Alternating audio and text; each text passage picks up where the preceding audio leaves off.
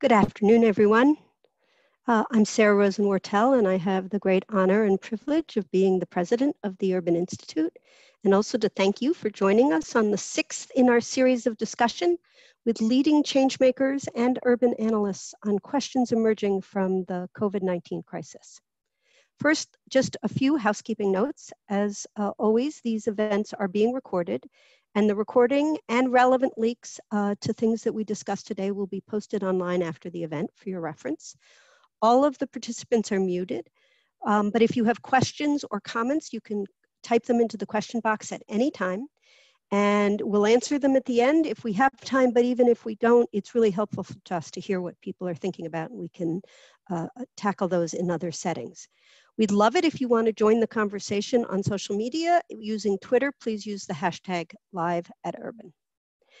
So um, at Urban, we are inspired in every moment, and especially in this moment, to bring the power of evidence-based knowledge to help change makers make decisions to protect families, communities, and our economy. And we've all seen that this crisis lays bare the inequities that are baked into the systems and structures in our society. So we're thinking about our ways in which we contribute in this crisis in three dimensions. The first is we want to try to ensure that the response to the crisis is as equitable as possible and reaches everyone. Secondly, as people plan for recovery, we want to make sure it's a recovery that allows everyone to participate.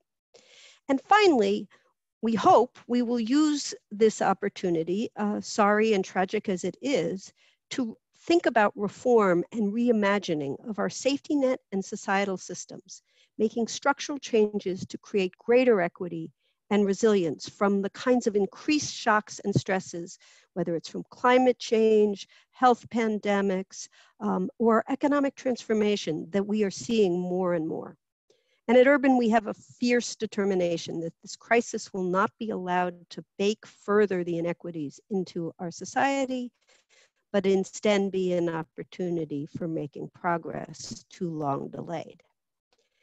Now, the long lines at food banks, and we're going to hear a little bit about one in Tyler, Texas in a few minutes, are perhaps the starkest reminders to those of us watching, here we are in our homes, um, of the ways that COVID 19 has immediately disrupted, challenged, and devastated so many families leaving not only working age adults, but also children and their families in crisis.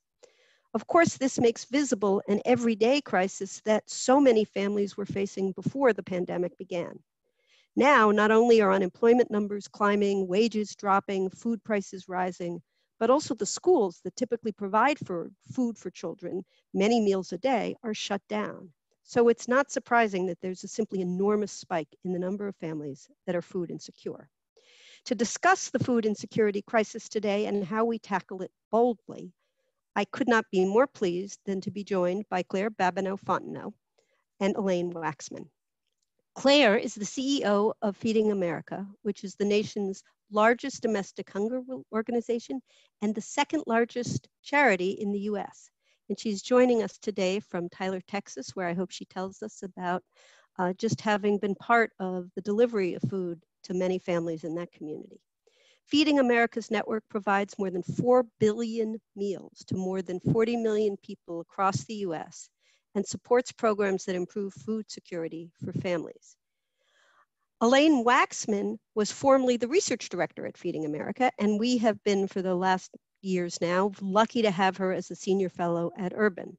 Her expertise includes food insecurity, nutrition, and the food assistance safety net. And if you are not already a subscriber to the Urban Institute's Critical Value podcast, um, I encourage you to subscribe now, and you can listen to the most recent episode where Elaine talks at uh, further length about what the evidence tells us about food insecurity. Now with Claire and Elaine today, we're gonna talk about a couple things. First, uh, what both data analytics from Urban and Feeding America are telling us about the scale of the food security crisis and who's most affected, and the importance of disaggregating the data and gathering the best information possible at time of decision to help people in the response and recovery. We're also going to talk about some of the policies and tools that practitioners and lots of other actors in the system have at their hand to try to increase food security right now. And finally, I think we're going to talk a little bit about how change makers who are looking for a extended recovery period can try to make sure that we use this moment of change to bring everyone along and end up with a system that's more equitable and inclusive. So Lane, I think we're going to start with you. Um, and are, is, is your uh, screen up? Um, if so, we'd love to know, if you could, um, about um, who is most at risk of food insecurity right now. Why in particular did COVID expand the number of people insecure? And um, to what extent are we seeing different communities in our country reflecting their own unfortunate, our own uh, society's own unfortunate history um, of, uh, of, racism and segregation and um, lack of concern? How much? How is that reflecting it in our uh, experience of food insecurity in the crisis? Elaine? Yeah, yeah, thank you. Those are all good questions. So briefly, when we talk about food insecurity, we think about what it means to have uncertain or um, unstable access to a nutritionally adequate diet. And we know that this pandemic has been layered on um, a pre-existing uh, situation where we still had 37 million Americans coming into this who were struggling with food insecurity. We also know that um, food insecurity had not returned to pre-recession levels until 2018. So we spent a decade sort of digging out from that spike before, which is what gives us real pause about what may happen here even after the public health emergency subsides we're still learning a little bit about who's being affected right now. Um, in general, we know that unemployment is a big driver. And so for every point that unemployment tends to go up, we usually see um, food insecurity rates go up about a half a percent. Um, we were a, uh, able to do a survey at the very end of March, early April at Urban, and found that about one in five uh, households across the country were reporting food insecurity um, but also uh, closer to one in four for families uh, with children. And to your point about, you know, who's most vulnerable, we see those very stark um, disparities by race and ethnicity um, that we've always known exist um, with respect to food access, but are extremely pronounced right now. So almost 40% um, of Latino um, or African American households and uh, even more perhaps if you have an individual in your house who is not a citizen and may not be able to access all of the services. So Claire, I gather you were part of a food distribution effort there in Tyler. Um, talk to us a little bit about what you were seeing there and more generally what you're seeing across the whole network um, uh, of Feeding America about the scope of the pandemic's effect.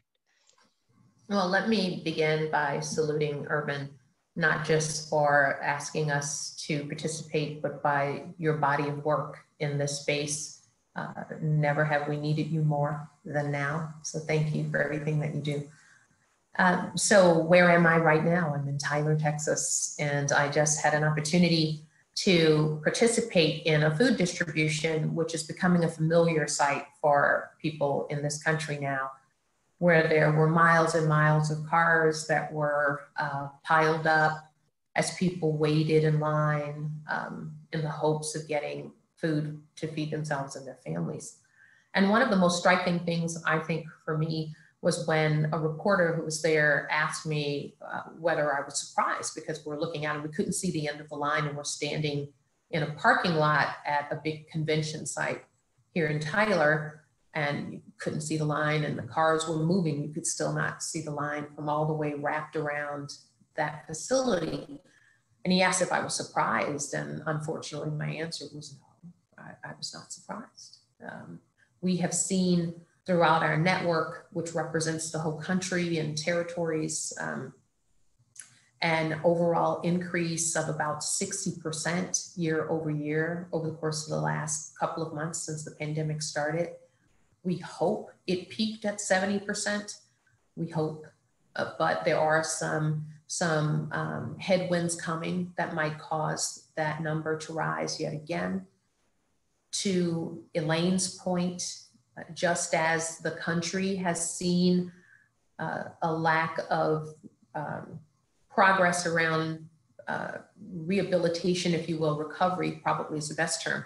Recovery from the last recession, it took 10 years. Well, that was was borne out inside of our network as well, where where we were feeding over 50 million people and we it started moving down and right before this pandemic hit we were feeding about 40 million people um, there's no question uh, that we will have fed far more than that before this crisis is over uh, we will hope for the best but we will have to plan for for what the data has said in the past and, and what we're anticipating is is to come so I might just quickly, Sarah, tell you that we have um, done some analysis. Uh, Elaine is very familiar with the, the work that's done at Feeding America around research. We were privileged to have her as a member of that elite team in the past. Um, but the data that, that we're privy to suggests that over the course of a six month period, that the gap just inside of our network system for people that we serve we estimate it to be at about 1.4 billion dollar billion dollars. Um, we'll talk, I'm sure, later on about some of the things that have been done that can help, and that hopefully will be helping with that. But just since, um, just in about two months, so from the beginning of the pandemic, uh, really hitting around March timeframe, um, late March, early April to um, just after May, we've already provided a billion meals. And Sarah, you mentioned that last year we provided 4 billion meals, uh, a little over 4 billion meals. That was in 12 months. Uh, our estimates would suggest that in the 12 months ahead, there will be an 8 billion meal need. So definitely, definitely uh, challenging times for people facing hunger. I just want to ask you very quickly, um, we didn't plan this, but one of the things that I'm hearing is that as the crisis is unfolding, in some ways it's becoming too easy to other those who are um, most in need, to sort of imagine that someone else. So since you were literally um, helping to put food, to do intake and put food into cars of individuals. Um, I just would wonder if you would reflect on um, the diversity of American life experience that you were seeing coming through that um, car line. Yes, uh, I, I have, I'm privy to lots of data on the overall statistics and I saw it borne out today before my own eyes. Um, I saw various ethnicities, I saw various age groups, I saw parents with children in the car, I saw seniors, um, so absolutely. So I saw the array of people. Uh, one of the things that I mentioned even today as well uh, to a reporter is that that if they looked at the line, they'd see that some of the cars out there look like pretty nice looking cars. And some people have extrapolated from that, well, those people must not need help. No, to the contrary. Um, one of the things that this shows is that it could happen to anyone. You could be going along perfectly able, feeling perfectly able uh, to provide for your family, to afford the car that you drive, and to feed uh, your children. And then something happens suddenly, and you find yourself without the wherewithal to provide for yourself. So that was all played out in that line as well. So you're you're absolutely right. And and our uh, Elaine might have mentioned this, but we've definitely seen uh, so far uh, that at least 40% of the people who are turning to us for help have never before had to rely upon a charitable food system. So this is um, anyone. It's it's your neighbor. It, it's you. Uh, it's us. It's we. It's not other. So Elaine, um, Congress did uh, has now tackled um, this problem and provided a significant amount infusion of resources. Can you describe um, a little bit more about um, what the legislative response has been so far and what some of the current uh, policy proposals that are at least at the federal level on the table at the moment? Sure. There have been some really important early responses. Um, one of those was to uh, suspend work requirements for SNAP, which is really critical, obviously, right now with widespread unemployment um, and to allow states to increase their SNAP benefits through an emergency allotment up until the maximum level that a house could could um, qualify for. So those are important um, immediate responses, but those only last till uh, for the extent of the public health emergency. And we're not sure when that will be declared over, but it will certainly be declared over long before the economic fallout um, continues to play out. So one of the things that's really being um, attended to right now in the potential next round of legislation is actually increasing the overall benefit level, the maximum benefit level for SNAP um, by 15%, um, and allowing that to be in place for a much uh, more significant period of time. This is an evidence-based solution. This is exactly what was done during the Great Recession. Um, and we know from research that that helped really buffer food insecurity during that period of time. So we have a good evidence-based solution, and that is a, a key part. The other um, thing that I think a lot of folks are looking to is to, to continue to suspend the implementation of any rules that would otherwise narrow access to SNAP, because obviously SNAP is going to be extremely critical right now. We also have to remember that not only does it help people put uh, food on the table, it's a great community stimulus.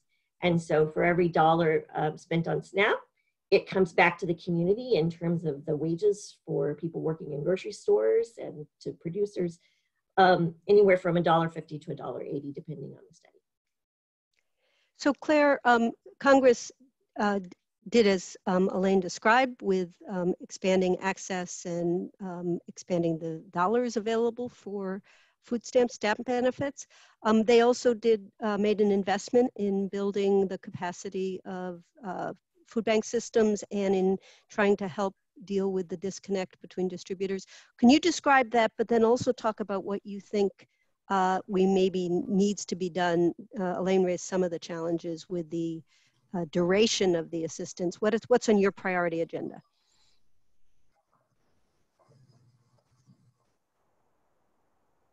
Whoops, Claire, did we lose you for a second?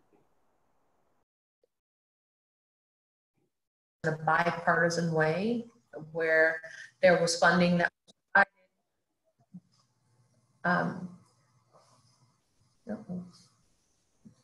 Hello, do you hear me?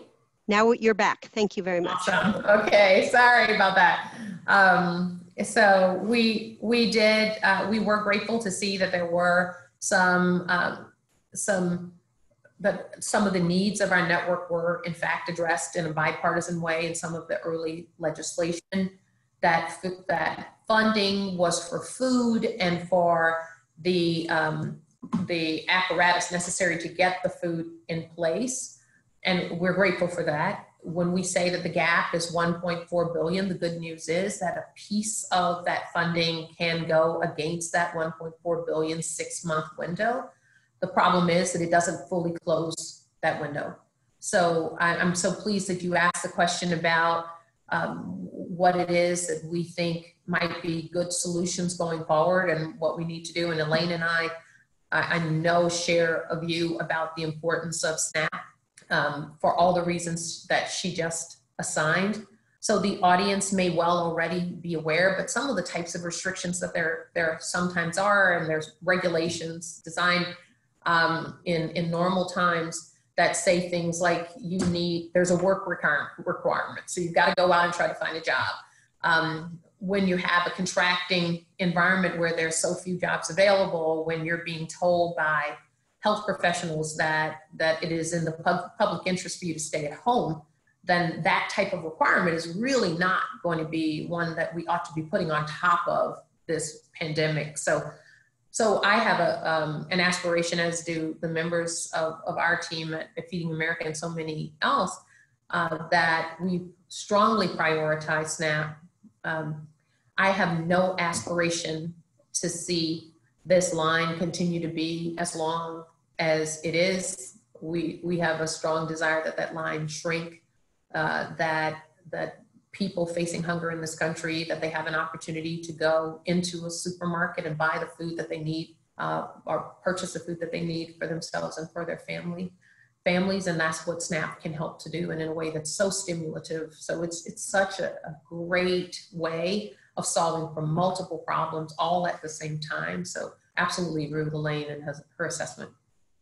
So claire i want to come back to you. Um, if we think about the delivery system that you just described, there is essentially getting purchasing power in the hands of consumers, and ultimately that will reach many more people than even quadrupling or tenfold increases in your network. But it is, there are lots of people for whom those safety net programs miss or are insufficient. Um, there's expansion of the capacity of your system. There's also some interesting innovation starting to happen. Um, uh, most famously, we're all seeing uh, excitement around the efforts of Jose Andres, who's been talking about, you know, our shuttered restaurants as potentially part of a delivery system. Um, and um, some really interesting efforts I know that you're part of, of trying to deal with the mismatch between distributors whose demand from restaurants and, and hotels and other things and schools collapsed and the food bank networks that you have. So could you just talk a little bit about how you were thinking about innovation in this moment? And is, is one of these a promising network or should we, uh, delivery system, or should we be doing all of the above? Yeah, so quickly the answer would be we should be doing all of the above. So um, softball. one the things, yes. So one of the things that we've got to do is to be to take the old playbook and just throw it away. It no longer applies. And oh, by the way, it wasn't a great playbook to start with. So let's build a new one, right? Let's create a new one. And I think there's so much opportunity for innovation that creates win-win scenarios for so many segments all at the same time. So we can do well and do good at the same time. So uh, so things like what Jose Andres has has recommended that seeks not only to provide food for people facing hunger, which certainly is of paramount concern for my network, but also finds uh, an elegant way to keep restaurant people who work in the restaurant in, industry in business and doing the thing that they're so good at to begin with. So they know how to prepare food and they know how to deliver really tasty food to people who need it and who want it. And I think it's a lovely, uh, a lovely thing for us to be thinking about. But I really think that one of the one of the traps of scenarios like this would be for us to to believe that there's one silver bullet. There simply isn't. So there's a need for fundamental changes in policy. Uh, there's a need for an acknowledgement of the fact that even even at the highest level, I believe that the maximum amount that anyone gets on SNAP is about a dollar and eighty six cents um, per meal. Uh, I spend a lot more than a dollar and eighty six cents per meal, and that's at the maximum. But there are people who receive $18 um, in total SNAP benefits. I think we need to be really thoughtful about policy. I think we need to make it easier for people to be helpful in these situations, help businesses to uh, um, do things that will stimulate innovation in, in industry in terms of partnerships. You know, think about tax policies that are stimulative to, to charitable giving uh, and, and to these partnerships. And then you talked about one of the mismatches. And I heard Secretary Perdue say this, and I think some people thought, well, is that right? And he was exactly right uh, about a statement that he made when he mentioned uh, that when it came to to food in this country, that we actually have enough food in this country to feed people who need it. Uh, that the issue was a connection issue, and he's absolutely right about that. So we shouldn't be throwing away milk when people um, don't have enough to eat or to drink. And there are ways to come together in, in co-creation around that. So I, I feel we've got some promising signs around some of the initiatives that have already happened. My bet, my biggest concern, Sarah, as you and I have talked about before, is that these lines um, of cars, they're just going to go inside of buildings. And they'll be less visible. And we'll all forget. Visible, and we will forget because there's there's no reason to believe and in fact there's every reason there's no reason to believe that it will not be a marathon.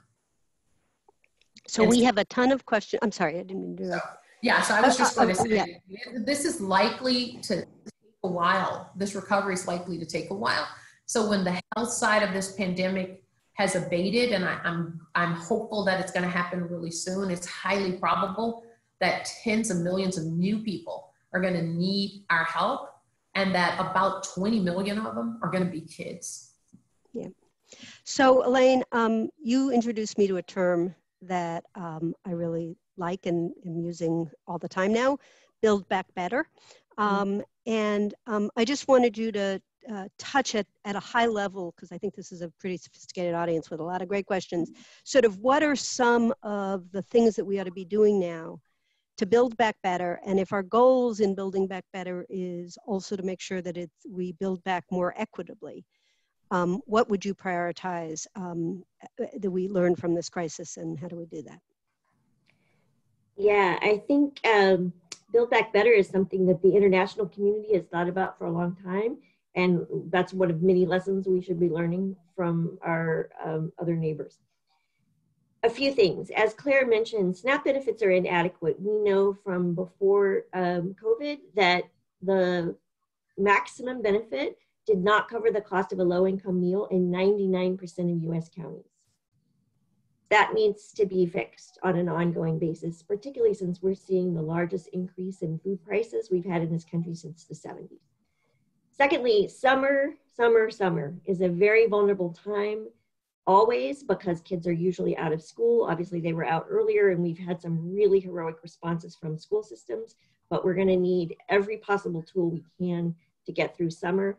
And as Claire knows all too well, this is also potentially hurricane season and wildfire season, and there are so many other things that may be um, calling for our attention as well. So we cannot take our eye off of how deep and how um, persistent this is going to be.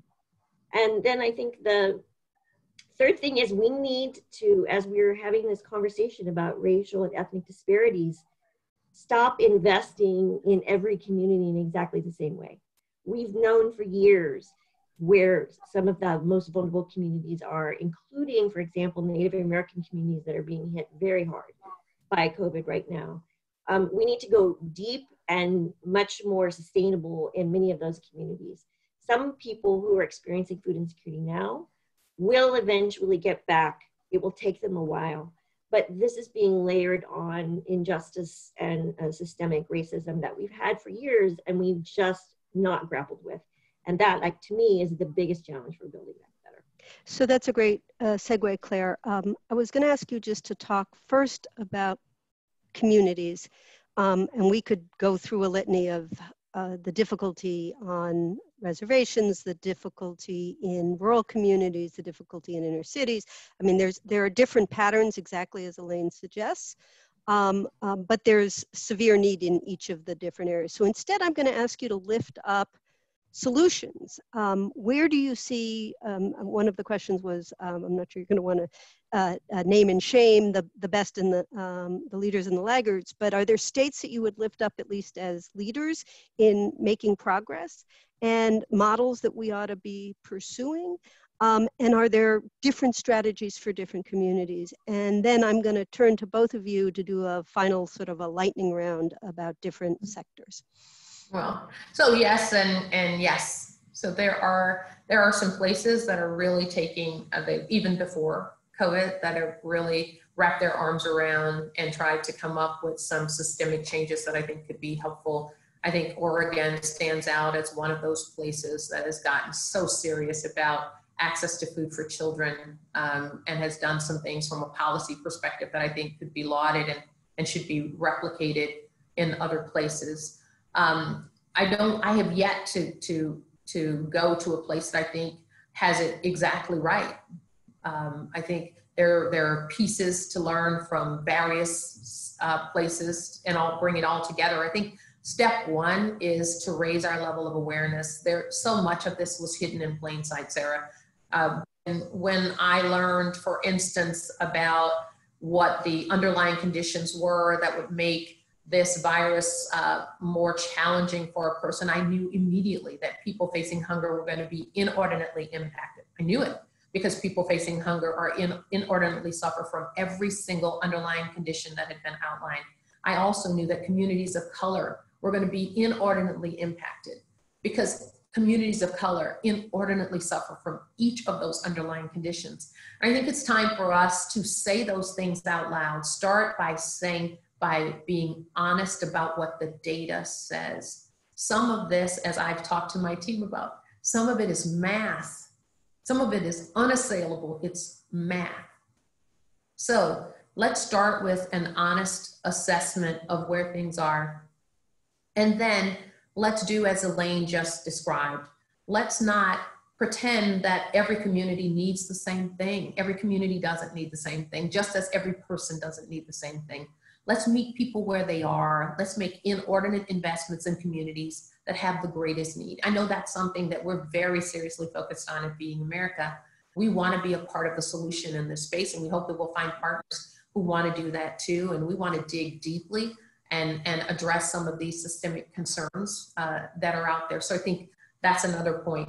But I think it'll take innovation across the board, public, private, nonprofit partnerships, nonprofits themselves. We must come together in solidarity around the same mission and find ways that we can work more collaboratively uh, as, as a sector. So um, I wish there were one silver bullet answer to any of these questions. If there were, I guess you wouldn't have me on, you wouldn't have Elaine on, and you be at the Urban Institute for that matter. Um, but I do think there are some really meaningful ways that we can make progress. Um, and I think a lot of the people who are listening in and watching know what those things are. I think it's time for us to do them, get out of our own way and go do them. So Elaine, we do have um, people from the federal government, state and local government, people who run food banks and other community foundations and nonprofits who are delivering services, um, people from the private sector and philanthropy, and probably from the food distribution system. So I'm going to ask each of you in kind of a lightning round, starting with government, and then we're going to come back to the delivery system, and then we're going to come back to the nonprofit and philanthropic sectors. Um, top priorities for people right now what should their organizations be doing so uh, First Elaine, then Claire, super short. Uh, government, first Fed and state and local. Elaine? So we've talked about SNAP. That's the first line of defense. Um, bolstering SNAP is the biggest thing we can continue to do. But in addition, we've um, fed a lot of people through waivers of requirements for school meals. And we need to double down on every conceivable angle from that, including the new option pandemic EBT, which is a replacement for school meals it won't meet everybody's needs, but it's another tool in the toolbox. Um, states are being asked to do so much right now, and we know that caseload is rising. So state uh, administrators are going to need more resources at their disposal if they're going to be able to meet the need. So we have to pay attention to that. Policy, federal, state, and local, Claire? So I think my top ones would be the ones that Elaine just said. I would just add then, I get a chance to add something um, uh, to say that I do think that we can incentivize industry to partner even more effectively with, with, um, with the charitable food system and in, and more effectively for people facing hunger. And I think we ought to think about it in that way as well when we're thinking through uh, policies like tax policies. We ought to be thinking about it through the lens of and how might that incentivize people to get to the table and to be even more helpful than they've been in the past. Um, next, eh, the private sector in all their different capacities, um, both as employers uh, of people who may be, have food insecurity, but also um, part of the, the distribution system that um, uh, produces food and sometimes doesn't, to Secretary Perdue's point, always get it to the places where the need is greatest. Um, this time I'll start with you, Claire, and then go to Elaine. That's a space where I think we're really building some traction. And I'd say let's keep on doing what we're doing right now. Let's not allow um, business as usual to cause us to go back to where we were before. I'd say um, there's a vibrant role for the private sector to play, coming to the table with the nonprofit sector as well as with, with the public sector and thinking through uh, effective strategies. Uh, we have had some of the best minds in industry come to the table with us to think about how are we going to look at the last mile, for instance? Are we going to make certain that people who live in remote regions actually have access to food? There are highly effective private solutions that we need to be overlaying on top of the challenges that we're seeing um, in the nonprofit space. And, and I'd say I know that some of those conversations are happening. I think we need to continue with them. And I think we need to start testing them and then we need to scale them out. Elaine, private sector? Sure, private sector can help bring strategies uh, on a wider basis to both uh, clients of federal programs and also clients of charitable feeding. Things like online ordering and home delivery and uh, creative ways to not have people standing in line. So that's one thing. But the other thing is um, the food sector as an employer, as a distribution system, is the bedrock of this country right? It's, it touches every single one of us. And so the health and well being of those workers is part and parcel of how we feed ourselves. And we've uh, revealed some real gaps and challenges there, and we have got to fix them because the sad truth is that food insecurity has always been elevated in the very industry that feeds this country. Um, and I just one other uh, goal I um, mentioned about the private sector is that we were talking before that those that local strategies for delivery. Many employers are anchor institutions in those local communities and they can partner with our last sector.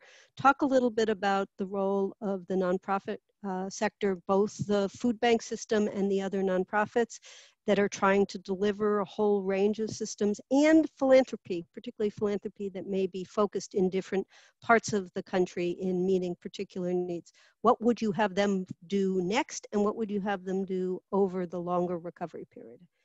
Claire and then Elaine. Right, so um, we have, I believe, 1.3 million um, nonprofit organizations in, in the registered nonprofits in the United States every single one of them, I'm sure, um, was founded on some remarkably important um, mission. I, I have said, and, and now I have enough space to make it clear what I mean when I say it.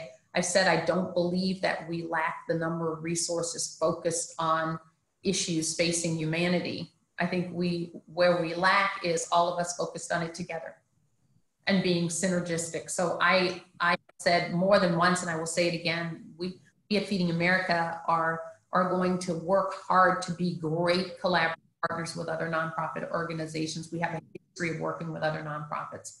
I believe we need to convene ourselves and think about all of those wraparound services that are going to be necessary in order to help people to emerge because food insecurity is not doesn't exist in a vacuum it's it's one of the symptoms of poverty for instance so when you solve for food, you need to solve for food along with solving for other things that impact people in terms of housing in order for that uh, that elevation out of food insecurity to be sustainable. So my number one ask of, of other nonprofits and of ourselves is that we find ways to sit at tables that we convene together and partner um, on in, in this work because they're brilliant capable, hardworking, dedicated people working on things. We're just working on them all at the same time different rooms. Let's get into some of the same rooms. On the philanthropy side, I would ask that people be willing to make deep, long-term commitments.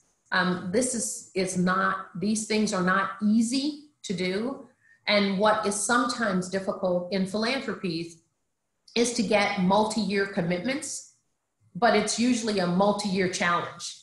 So so we have fits and starts with some of the initiatives that are undertaken by nonprofits, and then you lose funding. So you have you pilot something and now you have reason to believe you've built a case for something that really can be helpful. And now you no longer have the funding to take it the last mile. So i ask that people find partners that they trust that they believe in um, and causes that they believe in and then have deep long-term partnerships with those partners